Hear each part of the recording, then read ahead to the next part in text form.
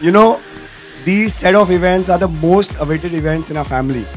The entire family is like a blood brother, blood sister to him. We don't feel like we are cousins to him. We are just like one close knit family. And as a child, he was very naughty. So I remember he used to come to the shop and he used to ask for Bapuji because that was the first time the 500 rupee notes were introduced with Gandhiji on it. And when he got hooked, those Bapuji also vanished with demonetization. Dimple or Dolly, or I would say the darling D. So we wholeheartedly welcome you to our family, and I can assure you that no girl can say that you haven't got the best husband and best parents-in-law. I think they're the best people in the world.